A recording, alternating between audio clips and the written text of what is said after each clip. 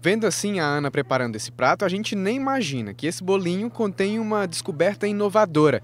A farinha utilizada na receita é feita do caroço da jaca. Essa ideia foi desenvolvida no laboratório de criação da Escola de Gastronomia Social Ivens Dias Branco. Tudo começou com a, com a alergia alimentar das minhas duas filhas, é, que me fez ir para a gastronomia e a cozinha veio para minha veia. Eu procurei inicialmente um insumo, né, um fruto que me desse subsídio para trabalhar uma nutrição mais especializada para crianças, no caso, né?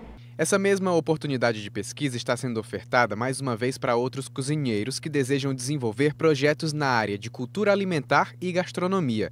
É que está aberto até segunda-feira o edital para novas seleções de pesquisadores.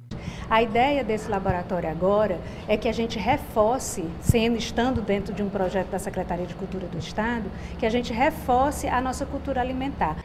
O Laboratório de Criação é um espaço de pesquisa, experimentação e desenvolvimento de produtos e processos na área da cultura alimentar e da gastronomia.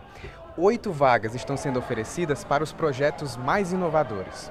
O Janderson teve uma dessas ideias inovadoras quando participou do laboratório no ano passado. Olha só, ele criou este fermento natural feito a partir da água do coco. É uma água que não é tão ácida, então propicia todo o desenvolvimento dessas leveduras, né? um cultivo de leveduras, uma mistura de água e farinha que fica mais ou menos sete dias fermentando e aí depois desses sete dias a gente consegue utilizar e fermentar a massa do pão.